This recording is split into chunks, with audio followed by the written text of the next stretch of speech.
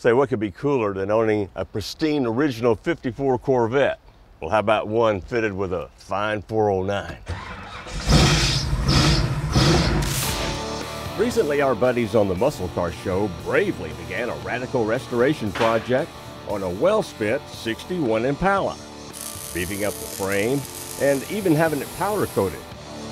Lots of major surgery here, replacing floor pans, truck pans, and so forth. Now, I guess for an old beauty like this Impala, this was like getting collagen or Botox. Then some modern upgrades like a complete air suspension system. Now, these dudes were men on a mission with a vision of a car already named Project Red Sled. And for us horsepower guys in charge of building the engine, this thing had 409 written all over it. It was born during the heyday of the Race on Sunday, Buy on Monday era. That is, after GM engineers took their 348 engine, poured it out to 409 cubic inches, and made 360 horsepower. Soon after its debut in 61, it was off to the races and winning. A year later, a 409 with twin four barrel carbs was the first motor ever to match horsepower with cubic inches.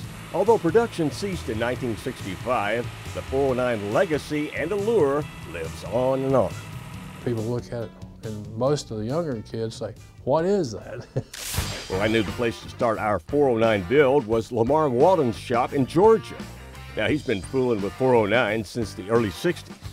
Lamar was a pro stock racer in the 70s and early 80s, first driving Vegas, then Chevy Monzas in NHRA competition.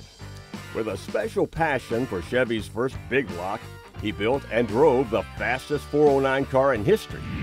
Now, decades later, he's preserving the engine's history by helping 409 fans with their muscle classics and street rods alike. When you've got a 32, 34 Ford and it's got a small block in it, if you've seen one, you, have seen 2000. But one shows up with a 409 in it, then the crowd's all around it. I was really pumped about bringing this old block we found here for expert machining. These guys like to bore them 30 to 60 thousandths, but seems like this old truck block was way overboard. As a racer, it, it might work, but for a, for a street motor, we're gonna have to go with another block. You think you got one? I'm sure we can dig one up over there. Okay. Sorry, block.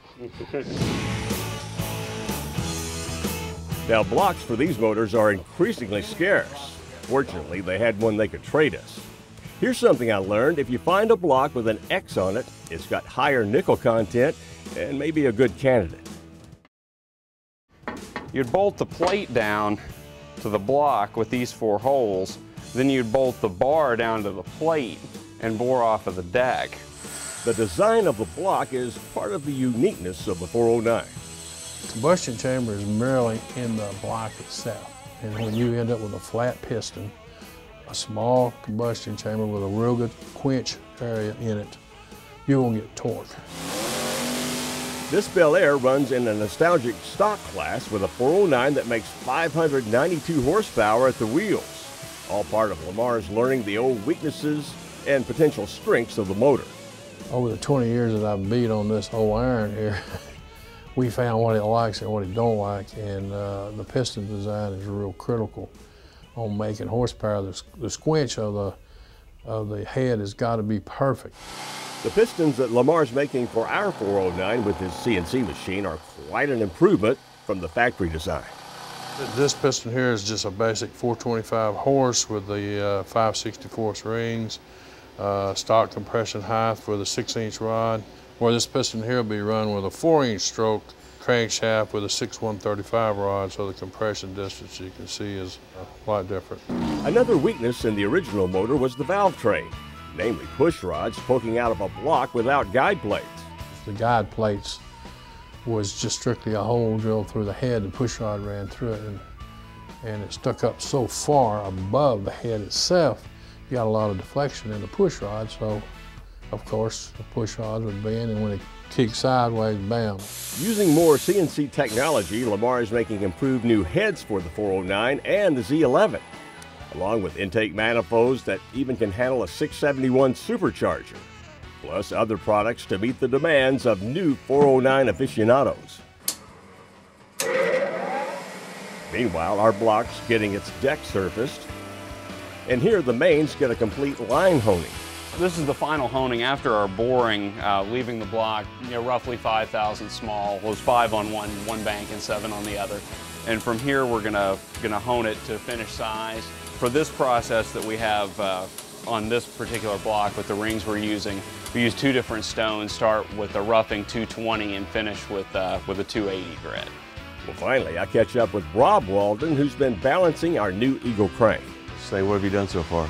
Well, we spun it up and rough balanced it in. We had to drill a hole on this end and then another hole on this end and then to get it to come around for the 2400 gram bob weight that we made up for the, the rods and the pistons that we're using on this combination. So when Rob's finished here and his dad wraps up the piston making, we can get to work ourselves, building our own fine 409, reviving some of its unique history for the first time ever in the horsepower shop.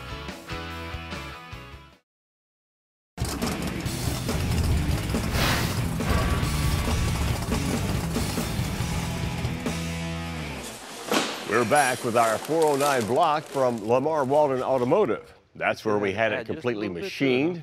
Our crank was balanced, and everything for the bottom end was tested for clearance. Well, speaking of that, they also took out some material here in the cylinder bores to give us rod clearance in that four inch stroke. And for better oiling, enlarged the oil galley feeds to the mains. Now these oil feed hose are 5 16 just like a big block. Here's the rest of the bottom end. The Eagle crankshaft that you guys saw earlier, plus a set of their 6.135 inch connecting rods. Now check these out. These are the pistons that Lamar made for us and they're 200 grams lighter than the factory ones. For bearings, Federal Mogul are the only ones that play the game for the 409 mains. For rods, we're using Clevites. Now we can drop the bearings into place, followed by the rear main seal. With plenty of lube, we're ready to drop in the crank.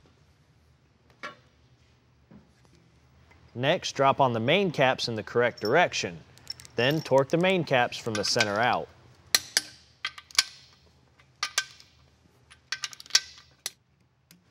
We're using Sealed Power Plasma Moly rings for our pistons and installing the rod bearings. Next, we can lube up the cylinder walls with oil. Using the built-in ring compressor with a 45 degree angle, we can now drop in the pistons and rods into their new home. But take your time because this will break rings if you're not careful. Followed by the rod caps and torque them to specs. You might not be surprised to know the original 409s came from the factory using a flat tappet cam and solid lifters. In fact, it wasn't until 2007 that you could even find and use a hydraulic roller. And that was after Comp Cams and Lamar got together to develop a correct grind that would make for a streetable 409. Next to the timing chain cover, we have the cam thrust button, which will actually press down onto the cover right here, but we need to have enough end play in it because if we have too much pressure here, it's going to wear the cam gear right into the block. So we'll just install the cover with just two bolts. Okay, now we'll check our end play by moving this cam back and forth with a screwdriver on a lobe. Okay, we have way too much end play, so in order to decrease that, we need to hammer in on the plate. Okay, now we'll check the end play again, and we have absolutely zero. So once we put our gasket in here, that should put us in the right clearance. Edelbrock now offers these W Series Performer RPM cylinder heads that have stock port locations and valve angles. Now they come with a 220cc CNC intake runner that's been port matched along with 90cc exhaust ports. Now they have hardened spring cups, screw-in studs, and hardened guide plates. We're using Fel-Pro gaskets on this engine, including these for the heads. Now you need to remove the guide plates to install the head bolts. They come in two different lengths, so you need to be careful and not mix them up or you could damage the block. Before we get too far, we want to mask off the heads and water pump ports. Now using a piece of cardboard and some more tape, we sealed up the lifter valley as well. Now we paint the entire block with Dupli-Color Chevy Orange engine enamel, making sure to protect the bottom end with a piece of cardboard as you spray.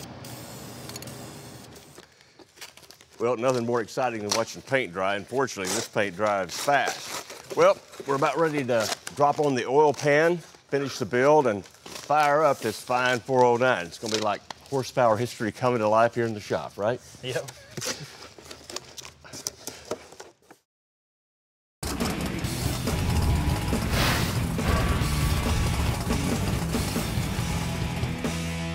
The build goes on for our legendary 409, a motor that's eventually going to find a home in Muscle Cars Project Red Sled Impala. I'm already jealous. Well, I got to tell you that we're going against our own advice of installing the valve train before the oiling system, and that's because these lifters here need a little bit more time to soak in the 30 weight. This is our oil pump for our Big Block 409. That one was modified at Lamar Walden's to enhance flow for the enlarged oil galleys. Now they shortened this shaft and beveled the drive so it would fit in the main cap.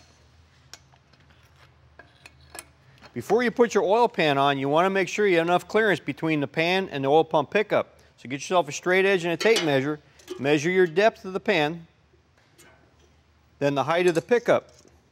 You should have anywhere between an eighth to a quarter of an inch. Now we put silicone on the stock style reproduction pan to make sure we have no leaks. Then put it in place.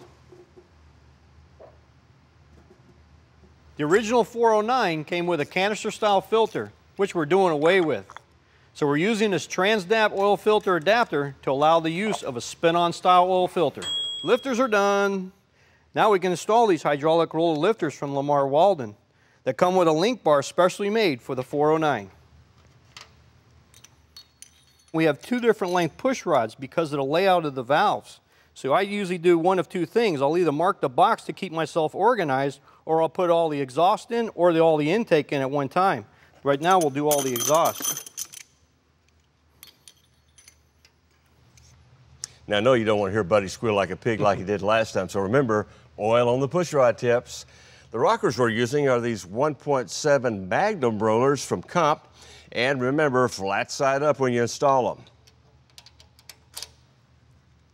And with the poly locks in place, we can go ahead and lash the valves, and we are Done. For an intake, we're going new classic. It's an Edelbrock Performer RPM dual quad air gap. Now this is how you get the cool old look with modern day performance. They stand just an inch and 5 eighths taller than the original, but you still get the air gap design that separates the runners from the hot engine valley for a cooler, denser charge. Now we can drop on the valve covers. Now check these out. They also come from Edelbrock and they have a black powder coat finish for that classic look. The top of the fins have even been machined and they're specifically made for the 409. Man, this thing is starting to look like a cool classic bow tie now. Okay, on top, we're using a pair of Edelbrock's 600 CFM Performer carbs. They've got metering rods that are easily removed for tunability, and check this out. We're using their brand new progressive throttle linkage, specifically designed to work with this intake manifold. Check out this big water pump. Now this is specific for the truck 409 block. Now that's where we got our motor from. The passenger car one looked like this, but it was made out of cast iron. This one is aluminum and came from Edelbrock. Let's get it bolted on.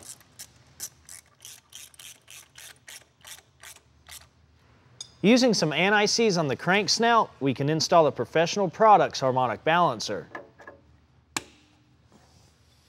And install the oil filler tube into the manifold.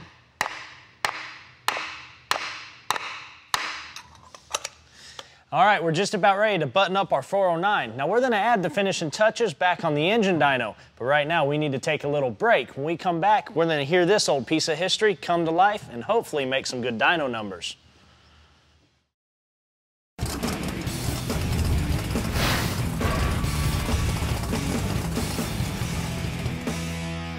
Hey, we're about to fire up Horsepower's first ever 409 motor here in the dyno cell. One we built especially for Muscle Cars Project Red Sled Impala.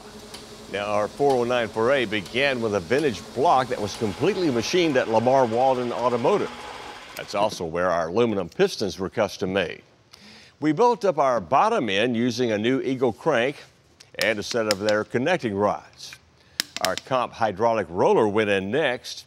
We installed a set of Edelbrock 409 Performer heads, then a GM big block oil pump and replacement pan. The rest of the valve train included LWA lifters and Comp 17 rockers. We used an Edelbrock RPM dual quad intake manifold with a pair of their 600 CFM carbs. To finish up, we're installing a Mallory Unilite ignition and one of their coils, plus a set of Taylor wires on Denso Iridium plugs. You know, back in the day, they called the 409 the W motor for, I guess, an obvious reason. The configuration of the heads sort of looks like the letter W. Well, unless you're on that side, it looks like an M. In any event, we're about ready to fire this thing up, check the timing, check for leaks, a couple of heat cycles, and we can make a run. Here we go.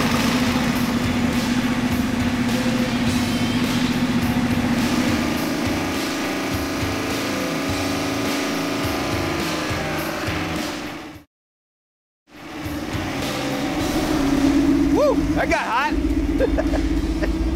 Just burned my shirt.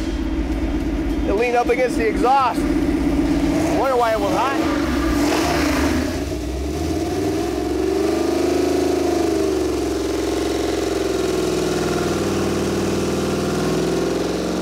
For headers, we're using a set of Doug's ceramic-coated tri-Ys held in place with stage 8 locking fasteners.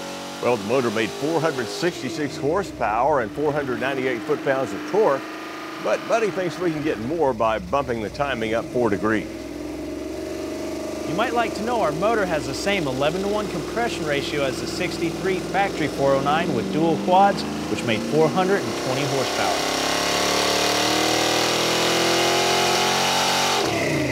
Looks like more timing was a good idea. We got 475 horsepower for a gain of 9.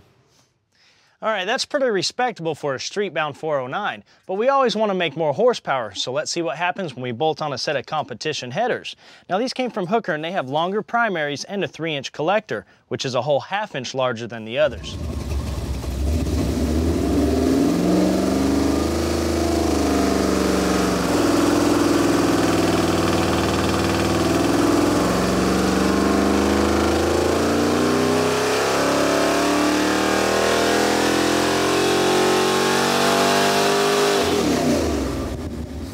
Man, that extra half inch really made a big difference. We made 497 horsepower, 525 foot-pounds of torque. Muscle cars gonna have all they can handle with this motor. You got that right for sure. Well, now the finishing touch to our new old 409. This air cleaner assembly that matches our valve covers. Well, now the ball's in Muscle Cars court. They got to finish that Project Red Sled and provide a fitting home for our fine 409. Well, that's it for horsepower. We'll see you next time.